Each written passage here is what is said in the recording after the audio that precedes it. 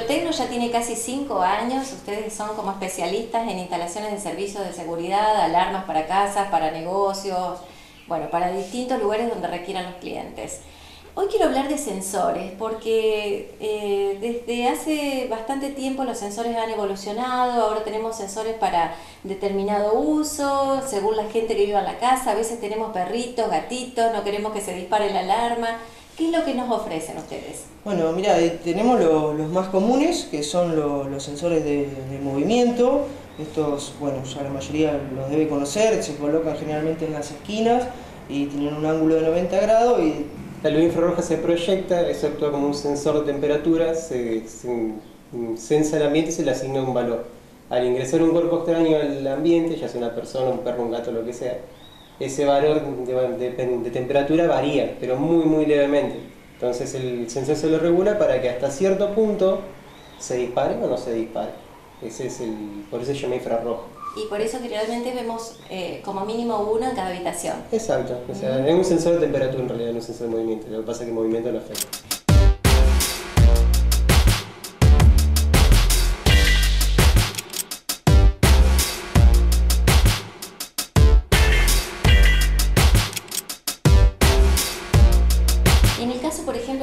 Una obra en construcción, queremos proteger los materiales que están adentro, ¿qué tenemos que tener en cuenta si queremos poner una alarma mínima?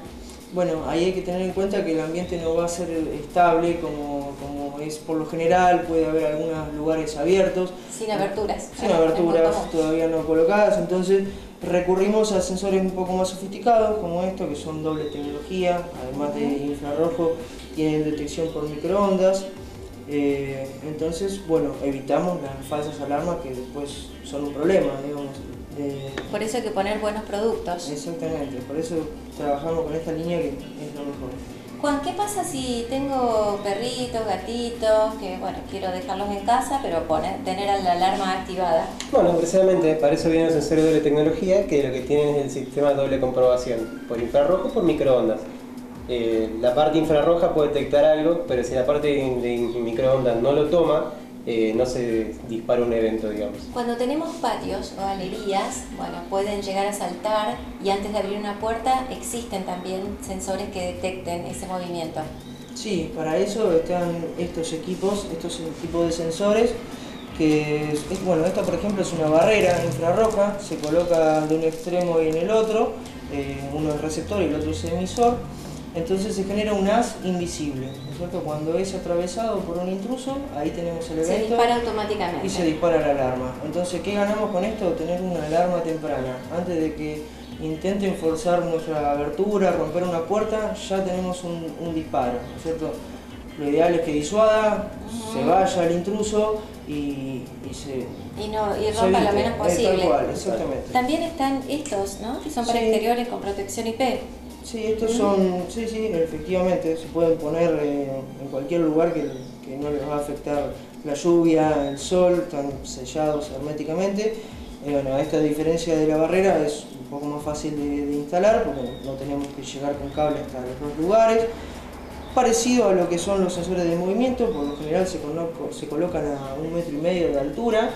Entonces si tenemos alguna mascota puede estar andando por el patio, por debajo, y si tenemos una intrusión real, esto lo, va, a detectar. ¿Y funcionan iguales, Juan, que los de interior? Eh, básicamente sí, la diferencia es que se puede regular el haz a lo que sería altura y amplitud. o sea, este se puede hacer mucho más fino, en el sentido que ponerle, poner un perro que tiene que hasta acá de alto y vos querés censar a esta altura. Entonces con esos sensores se puede limitar el haz a una altura que sea más o menos la de una persona. Y aparte que no necesitan la otra terminal que la barrera requiere. Claro. Lo ideal es cuando uno está en obra eh, dejar una cañera especial para la alarma, para que no se vea ningún cable exterior. Pero si ya tengo la casa terminada y quiero colocar una alarma, tengo dos opciones. con, con cable a la vista, bueno, disimulado, que es la forma más económica, pero también inalámbrico, para aquellos que no quieran romper nada y que estéticamente quieran ver su casa igual que antes. Tal cual, la tecnología está, existe y es muy buena. Eh, se pueden colocar este tipo de sensores que son totalmente inalámbricos, entonces nos evitamos de todo tipo de, cableado, digamos, conservamos la estética eh, y bueno, nos evitamos de, dificultades, ¿no es cierto? Este es un magnético inalámbrico. Ah, claro, que se coloca en las aberturas. Se coloca en la, en la, abertura y cumple la misma función que el cableado, ¿no es cierto? El que vemos acá. ¿Esto se puede colocar en, en puertas, ventanas, portones, rejas? Cualquier tipo de abertura, tal cual. Claro. Lo inalámbrico es tanto confiable como lo que es cableado, la única diferencia es un mantenimiento que se le hace cada tanto, que cada año o cada dos se cambian las baterías. Claro. Después es, toda la línea que nosotros trabajamos son primeras marcas de SC, que son líder a nivel mundial, así que no tenemos digamos, problemas de infraestructura en lo que sería el hardware. Macrotecno nos provee todo, eh, toda la alarma completa y la instalación.